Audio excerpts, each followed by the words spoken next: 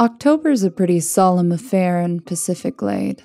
The rest of the country loves this time of year, an excuse to embrace their inner darkness, to turn the very real horrors of the world into bedsheet ghosts and warty witches and things that go bump in the night.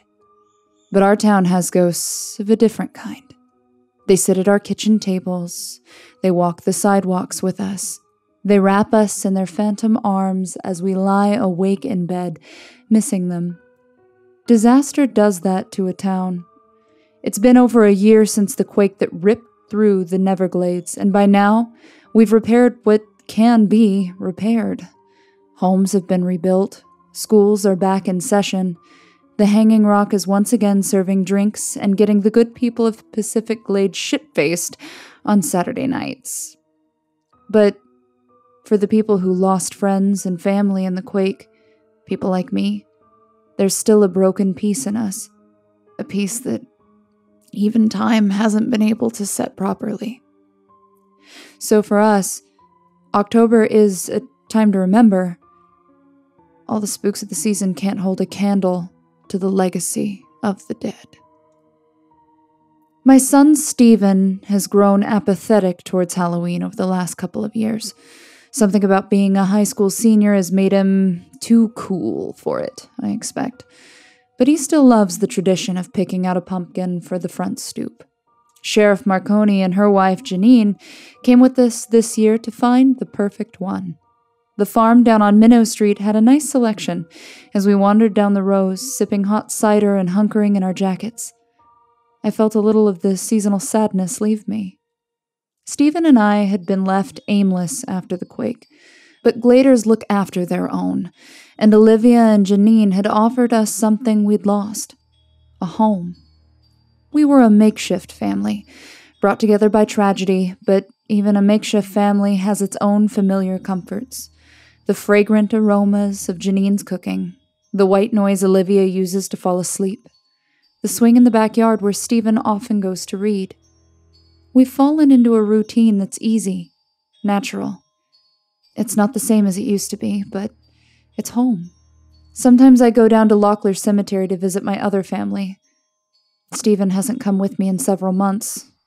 Of the two of us, I think I've always had the harder time letting go. So when I went the other day, it was just me winding my way through the gravestones. The afternoon was heavy with that late October chill. I clutched the flowers I'd brought and wrapped my coat tightly around me. Leaves were strewn across the ground in front of my husband's grave, so I brushed them aside. There was already a bushel of flowers laid beneath his headstone. Each petal was a bright, vivid purple, and I knew the inspector had been here. Mark's old partner on the force. He'd been a regular presence in Olivia's house ever since Mark's death, coming over to sit with us at meals or tell us stories of his latest case. I didn't know he'd been a visitor here as well. Somehow, I had a hard time imagining the inspector and all his stoicism feeling grief. I guess there was more of a man in him than I'd thought. I plucked a few flowers from my own bushel and laid them on Mark's grave. Then I placed the rest of the bunch beneath Rory's headstone. My son, too, had his own display of purple petals, and I was touched at the inspector's thoughtfulness. I brushed a bit of lichen from the letters in his name. Then I left my family there, slumbering quietly to return home for the night. When the inspector told us the next morning that he was throwing a Halloween party for the police force, you could have heard a pin drop. He couldn't have shocked the room more if he'd announced he was running for president. Everyone in the kitchen stopped what they were doing to turn and look at him. Olivia nearly choked on her cup of coffee. Seriously? she asked, wiping her lips with a sleeve. I mean, sorry, Inspector. I, that was that was rude. You just, I mean, you just don't seem like the party type. An understatement if I'd ever heard one. The inspector was tall, thin, and gray as a statue, and he spent most of his time hidden in a cloud of smoke from his ever present cigar. He was a friend, family, even, and our town owed him a tremendous debt. But his shadow still darkened every room he stepped into, and his presence had a foreboding quality, like he was always about to deliver bad news. Morale has been low, he said in his gravelly voice.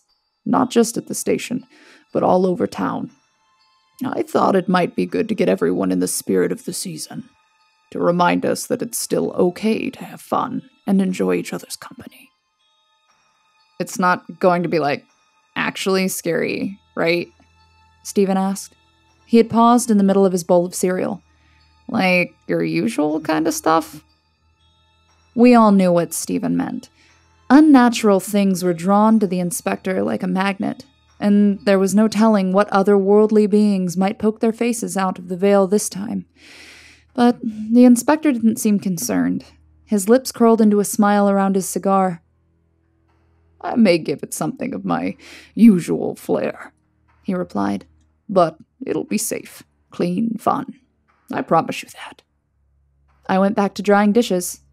Somehow, I had a hard time believing him. The inspector was tight lipped about his party plans all week, leaving the rest of us to speculate. As members of the sheriff's household, Stephen and I were included in the invitation, so we hastily got to work making our costumes. Stephen put in as little effort as possible. He repurposed an old curtain as a cape and called himself a teething vampire. But I hadn't dressed up for the holiday in years, and I wanted something a little more decorative. I spent the majority of my free time this week down at Ingram's craft store, putting all the pieces together. At first, I wasn't sure what I was doing. I played with different materials, sewing strips of felt onto fabric, running my fingers through the buckets of fake jewelry. Eventually, an idea took shape. I wasn't sure where it had come from, and it was a bit strange, but it felt right. I think Mark would have appreciated it.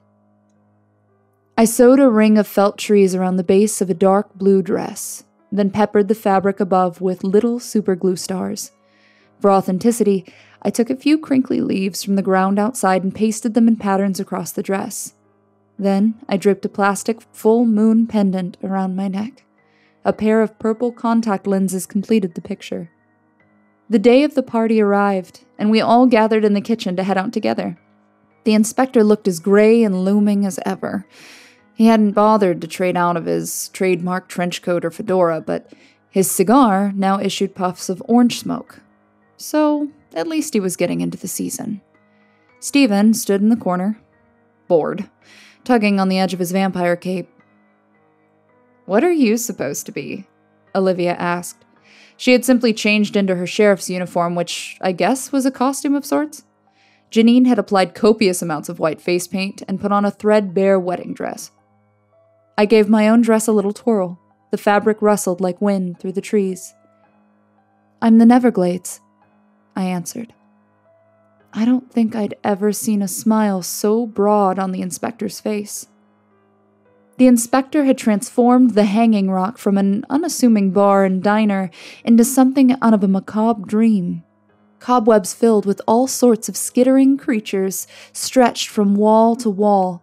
Four obelisks covered with spiky runes and symbols jutted from each corner of the room. A low moaning issued from each one.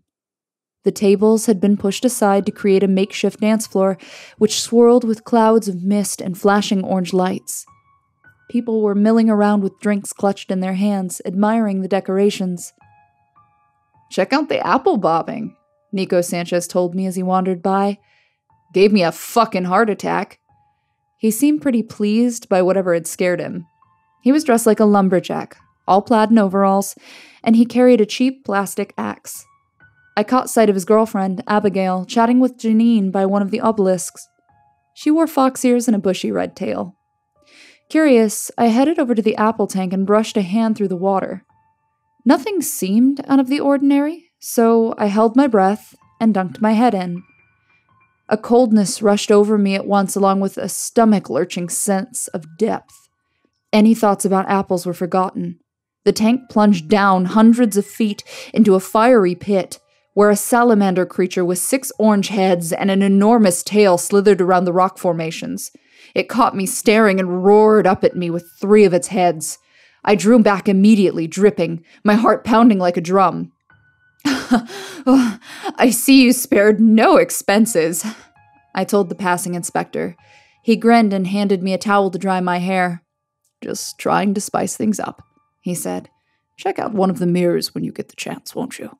I'm particularly proud of those. I said I would and left him to go mingle. As the inspector had hoped, people seemed to be genuinely enjoying themselves, swapping stories about their weekend and praising the inspector's attention to detail. He was right. Morale had been low in the police force recently. I could see it in the heaviness Olivia brought home every night, in the general malaise every time I visited the station. But the party seemed to have reminded everyone that celebrating was okay, that there could still be fun and laughter and happiness, even when things felt bleak. I was grateful to the inspector for showing us that much. I caught Stephen slipping cups of spiked punch and slapped him gently on the wrist. But I wasn't actually mad. The boy was going to college soon, and a little drinking now was hardly the worst thing in the world.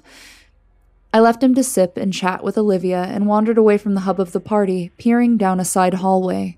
The inspector had lined the walls with mirrors of every size and shape, some round and simple, others long and ornate, with rims that swirled and curved like water turned to metal. I approached one of the smaller ones and stared into it. For a second, my reflection looked the same. Then, its jaw began to stretch, its eyes rolling back in its head, its tongue vibrating with the force of a silent scream. It was a neat trick. I was about to go look into another one when a face appeared over my reflection's shoulder. It was a face I knew. Shortly cropped brown hair, blue eyes, a nose slightly off center from when it was broken in a police scuffle many years ago. Mark was standing right behind me. I whirled around. The hall was empty, but I could feel something hot and painful squeezing my heart. Hello? I called. My voice came out as a croak. The mirrors glimmered in the light from the party room, but otherwise there was no reply. I wandered back into the crowd and found the inspector talking idly with an officer I didn't know. If anyone had answers, it would be him. I pulled him away from the officer with a slight apology and brought him over to the side hallway. There was the slightest of smiles still plastered on his face. Do you think this is funny? I hissed. His brow grew furrowed. What are you talking about? I took him by the arm and dragged him over to the mirror. Our faces went through their visual cues, chins elongating, eyes turning white, mouths opening in screams of terror. But this time, there was no sign of Mark over my shoulder. I touched a hand to the glass. I don't. I don't understand, I whispered.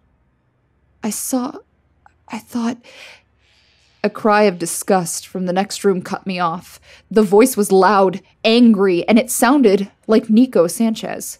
What kind of fucked up joke is this? The inspector and I left the mirror and hurried to the source of the noise. A circle had formed in the middle of the party room, and in its center stood a man in fire seared clothing. Hushed muttering ran through the crowd. The man stood slouched, off kilter, one shoulder higher than the other. His skin was smoldering slightly. Everything about him gave off a subtle blue glow, like his body was made of neon. I would recognize that figure anywhere. Something inside of me, something I hadn't known was there, withered at the sight of him. You're sick, Nico spat. Who do you think you are dressing up like him? Do you not see how fucked up that is? He took a step forward, brandishing his plastic axe. Abigail hovered just behind him. My husband, or whoever was dressed like him, made no reply. I couldn't see his face from where I was standing. His head tilted ever so slightly, and he took a step toward the furious Nico. His glowing hand reached up and grabbed the hilt of Nico's prop axe. Nico made a move to yank it away, but Mark's grip tightened. Nico's face blanched at the sudden pressure. Before the eyes of everyone in the room, tongues of blue fire crept from Mark's hands and encircled the axe, spreading from top to bottom. The plastic handle turned to thick, knobby wood. The cheap blade at the tip became wickedly sharp. I took a step back, feeling faint, as the shadow of my husband wrenched the axe out of Nico's hand. What are you? Nico started. Then the figure swung around and buried the axe in Nico's portly chest. Abigail screamed. Nico looked down at the blade protruding from his stomach with something like dull surprise. I don't think he had fully registered what was happening. Mark pulled at the axe, sending a spray of dark blood across the floor before swinging back for another whack. The room devolved into chaos. People swarmed over one another, some throwing themselves at the axe wielding figure, trying to pull him away from Nico, others fleeing toward the exits. I heard another scream and a sickening squelch as the axe found a home in someone's neck.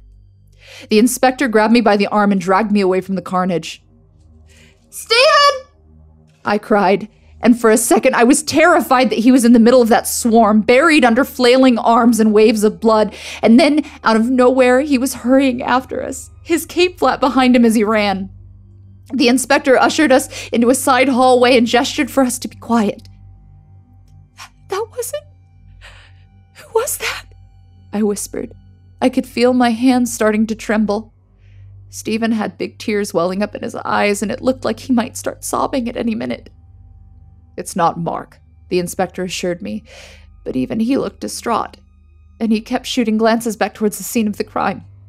That thing out there, it calls itself the Semblance. It was an enemy of mine a long time ago. I managed to seal it away, deep in a world without light or sound.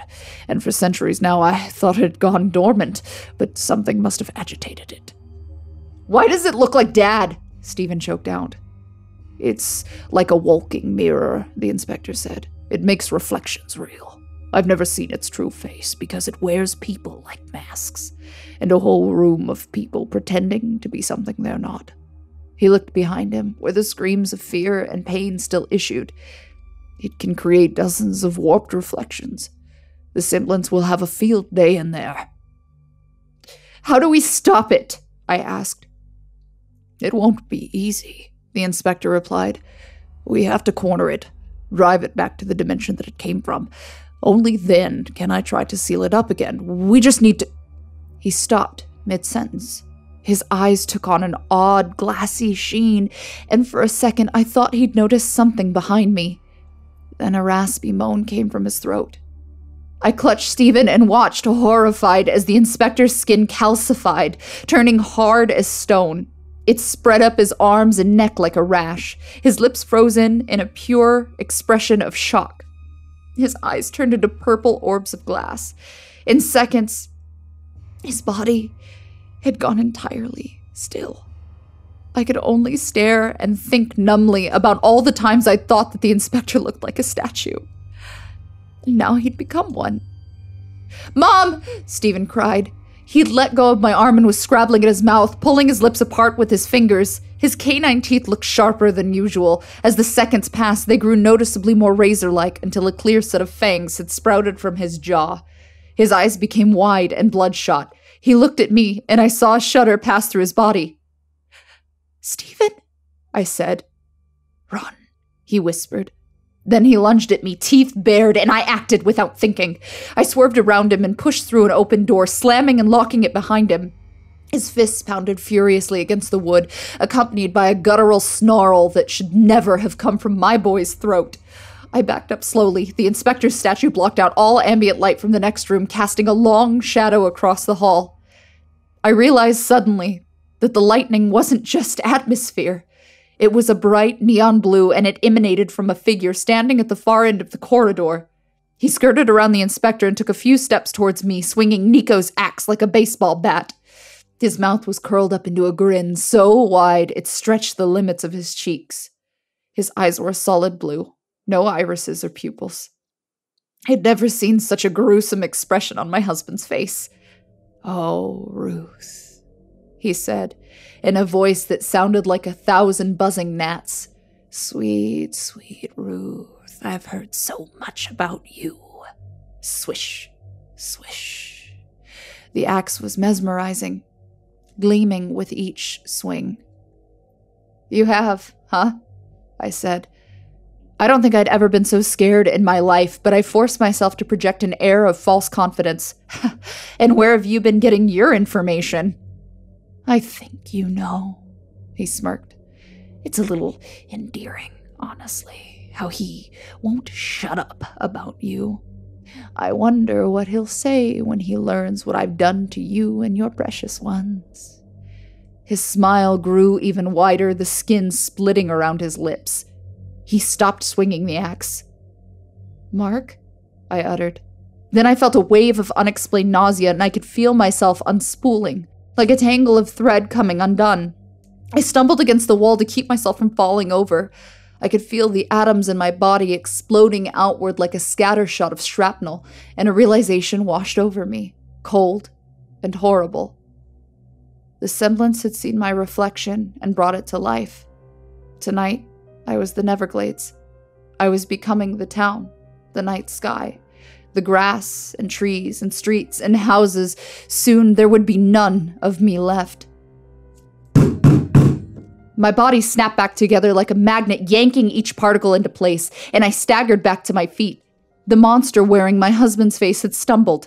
He dropped the axe as Olivia approached from behind him and emptied the contents of her pistol into his back, causing sprays of neon blue blood to splatter across the floor.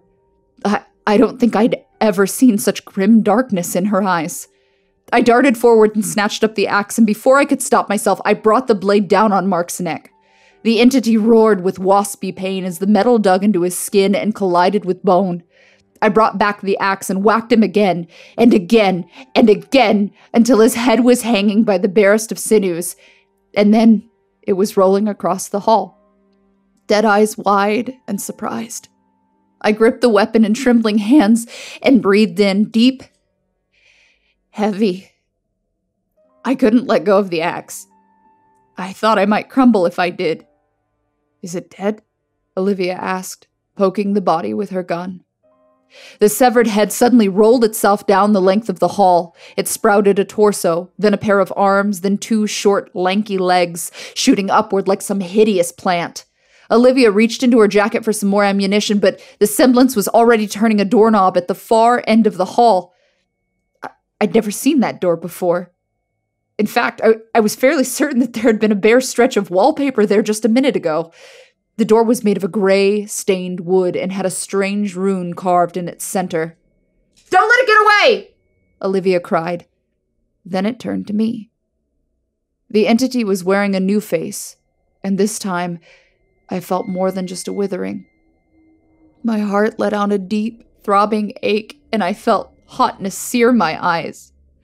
Rory, my son, my poor departed son, stared back at me with those solid blue eyes. He flashed me a wicked smile, and then he flung open the door and darted inside, slamming it shut behind him.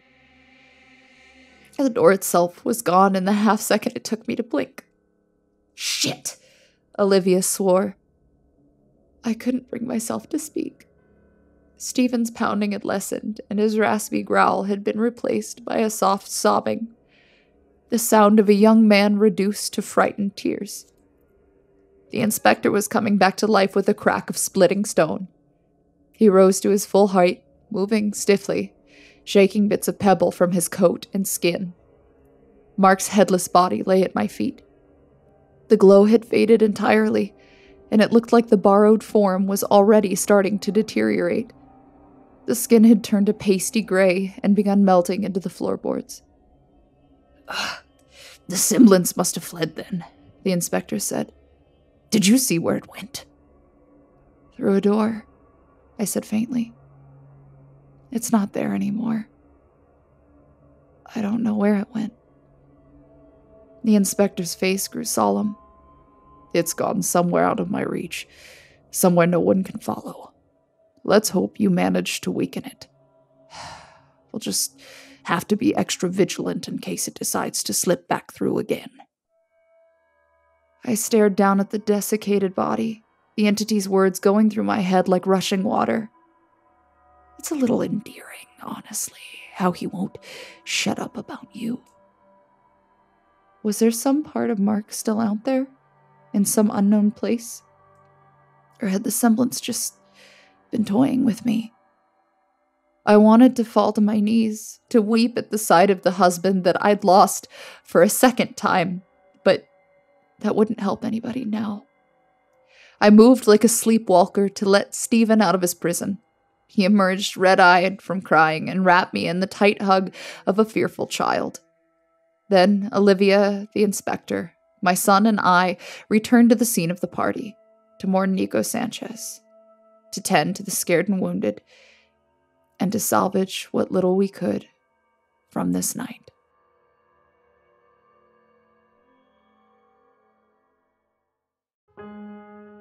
Hey there kids, it's me, Mr. Creepypasta, and I just wanted to tell you thank you for watching tonight's video. Because this is October, I'm gonna make this nice, short, and sweet. If you'd like to help support the show or the podcast, head over to patreon.com slash Mr. Creepypasta. If you'd like to get yourself some new Halloween and creepypasta inspired teas, you can head over to etsy.com slash shop slash ivory monocle tea. And if you want to catch me, Creeps McPasta, and Myuu during our live Halloween tour around the southern US, head over to creepypasta.shofetti.com. That's creepypasta.shofetti.com. Hang on to your hats, kids, because this year is a 31 day Halloween countdown. Happy Halloween and sweet dreams.